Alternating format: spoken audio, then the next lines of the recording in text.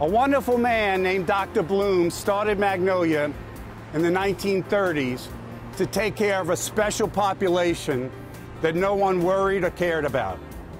I think often about how he would react today, seeing what's happened with his dream, seeing that same population of special needs individuals living life with more purpose and acceptance. That's what we do here at Magnolia, leading the way for these extraordinary people to have more meaningful lives and leading the way for all of us to understand that each person is capable of great things.